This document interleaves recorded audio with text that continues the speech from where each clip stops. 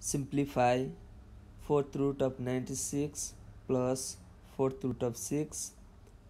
divided by 3 times fifth root of 32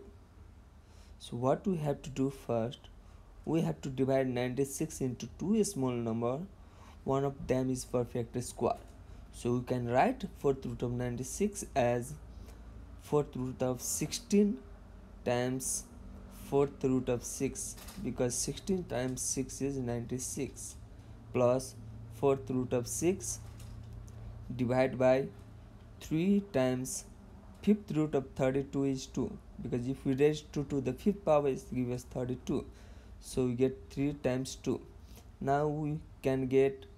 fourth root of 16 is 2 because if we raise 2 to the fourth power it gives us 16 so we have 2 times fourth root of 6 plus fourth root of 6 divided by 6 so here we see fourth root 6 in both sides. So you can take as a common. So you can write 2 plus 1 times fourth root of 6 divided by 6